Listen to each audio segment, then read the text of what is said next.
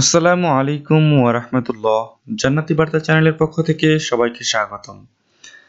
আজকে আমি আলোচনা করব তারাবির জন্য অর্থের বিনিময়ে ইমাম নিয়োগ এর বিধান কি?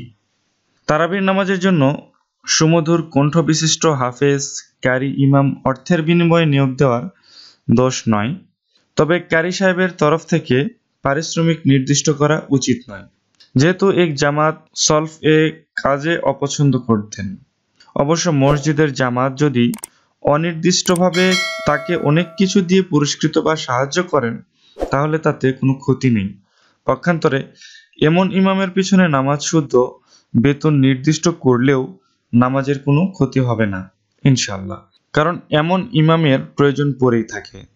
তবে চুক্তিগতভাবে বেতন নির্ধারিত করার কাজ না করাই উচিত। জামাতের সুস্থ বিবেক অনুযায়ী ইমাম বিনিময়ের সাহায্য পাবেন তবে তা শর্ত সাপেক্ষ হওয়া উচিত। এটাই হলো উত্তম এবং পূর্ব শর্ত সতর্কতামূলক কর্ম।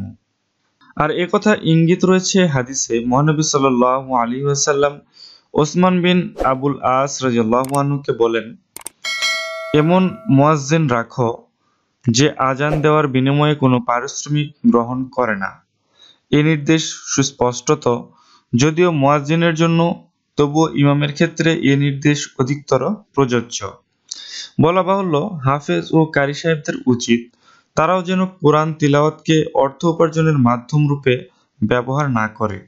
যেহেতু মহানবী সাল্লাহ আলী আসাল্লাম বলেন, তোমরা কোরআন পাঠ করো, তার উপর আমল করো আর তার নির্দেশ অনুযায়ী কাজ করো। তার প্রতি বইমুখ হয়ে যেও না। তাতে অতিরঞ্জন করো না। তার মধ্যে উদরপূর্তি করো না এবং তার অশিলায় ধন বৃদ্ধিও করো না। তো ভিউয়ার্স এরকম আরও সুন্দর সুন্দর ভিডিও এবং ইসলামিক আলোচনা শুনতে অবশ্যই আমার সাথে থাকুন এবং চ্যানেলটি সাবস্ক্রাইব করুন। আজকে এ পর্যন্তই, ধন্যবাদ সবাইকে, আল্লাহ হাফিজ।